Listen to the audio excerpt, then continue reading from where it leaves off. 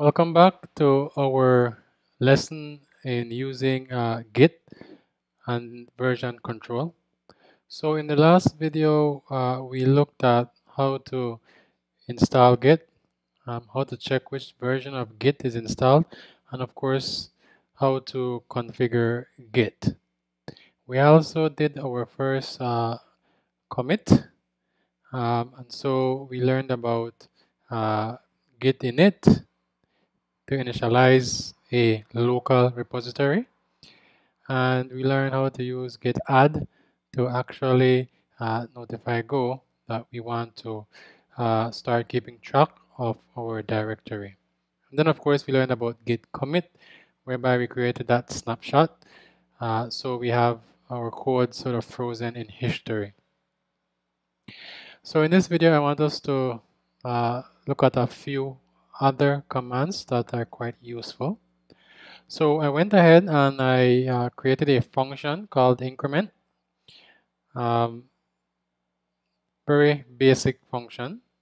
It accepts an int and it returns an int. And all it does is to increment the int by one. Okay.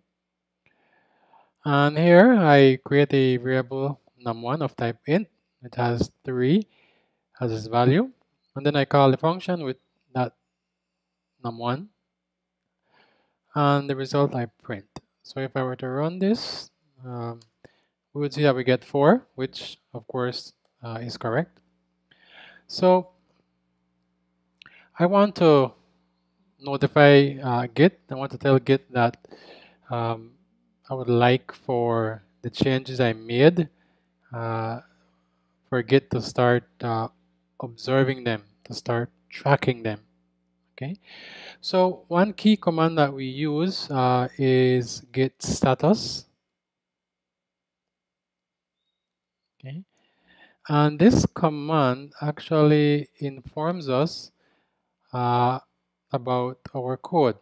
So it's telling me that I modified main.go. Okay, uh, however, it's also telling me that no changes were added to commit. And it's telling me there are some changes not staged for commit. So what does that mean? It simply means that as far as go, as far as uh, Git is concerned, these changes I just made, if I were to do a Git commit, those changes would not be uh, saved. Okay, Go would not create a snapshot of those changes. So what I have to do, I have to stage, okay, and that's the word I'm going to use. I have to stage whatever changes I made to my existing program. Okay, so main.go, notice it says modified. And so now I have to stage my changes. I have to tell Go that these are my changes and I want you to track them for me. All right, and so to do that, you have to then say git add. Okay, and so whenever you say git add, let's add um main.go and let's add um, go.mod. Okay, and when I press enter, now if I do git status again, okay, it now tells me that changes to be committed. And so it says that they are staged. Okay, so they are now staged. Simply means that when I do a git commit, then that new code will be a part of that snapshot. Okay? All right. So what if I decided to create a new file? So let's say I decided to create a new file, a readme, say read me. Okay. Okay and let's see what git status tells me. Okay. So notice it tells me I have an untracked file. Okay. Notice the difference between untracked file versus uh, changes not staged for commit you will see this message when you already have a file that you have been working on. Okay. However, if you introduce a new file to your project, then Git will simply say you have an untracked file. Okay. And then it tells you if you want to include or if you want Git to track this file, then you got you have to add it. Okay. You've got to add it. So uh, remember the difference. If you already have a file that you have already been tracking, then if you make a change to that file, it will say modified and it will tell you not staged. Versus if you create a new file or you introduce a new file, then that will be an untracked file. In any case, what we have to do is to then say uh, git add and let's uh, instead of having to put git add readme and git add um, main.go and git add go.mod. I'm just going to say git add everything. Okay. And now let me uh, do git status again. Okay. And so it tells me that I have a new file readme and I have a modified file main.go.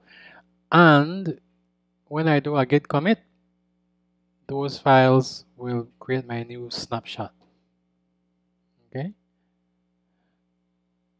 So I will simply say git commit and a message and I will say uh, added the increment function. All right. Uh, say enter. All right. And it tells me that, that two files were changed, seven insertions, meaning I included seven lines of code. All right. And so if I say git status, it tells me there's nothing to commit and I have a working tree that's clean, meaning there's nothing untracked, there's nothing that is not staged, and so uh, Git has given me a clean slate and it's waiting for me to make more changes. Right? And so this is the, the process that we go through. We we we write some code okay? And then uh, once we're happy with our code once we have tested our code then we we commit those changes. And then we repeat okay and that's the way we build up on the on our project little by little little by little and we know that our changes are being tracked. So if we have to go back, we can do that. Now let me introduce uh, the git log command.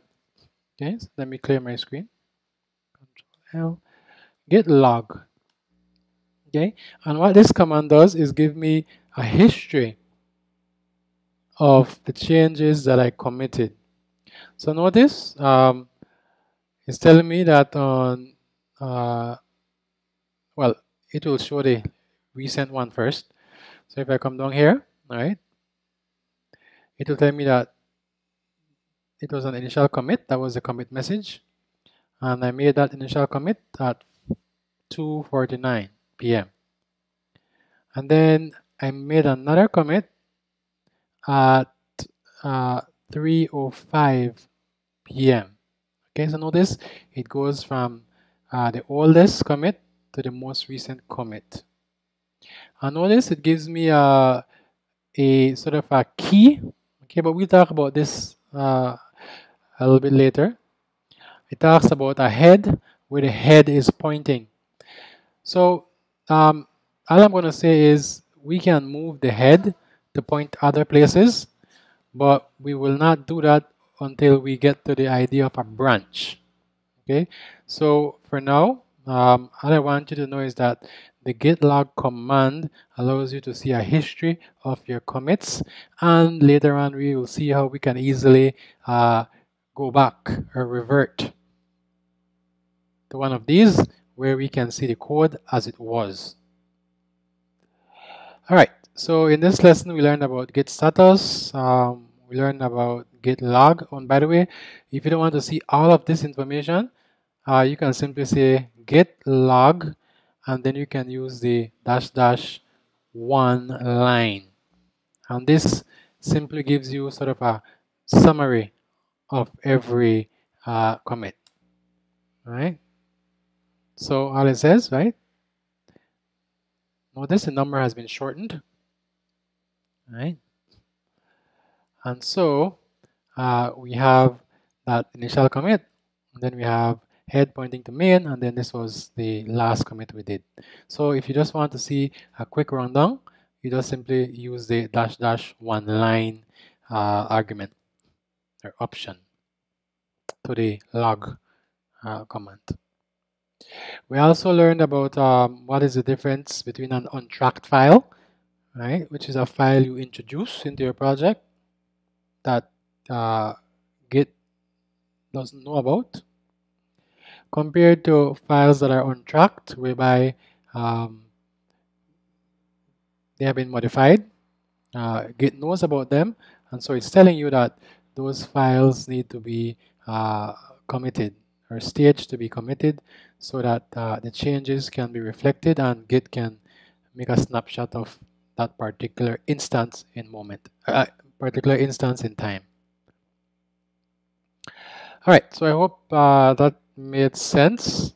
Um, of course, there's a lot of uh, documentation which I'll be pointing you to, uh, but that's this is just a bit. This is the general idea of how to do a commit, how to check the commit, and how to see uh, what step you're at in terms of the commit, stage on on stage, tracked on track, and so on.